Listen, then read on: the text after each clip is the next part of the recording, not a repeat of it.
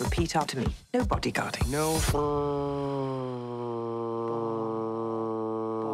bodyguarding. Good. Hmm. Let's do what we do and blow some things up.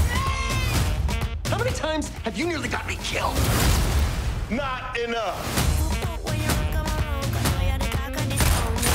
We're trying to have a baby. May God have mercy on our souls. Hitman's wife's bodyguard.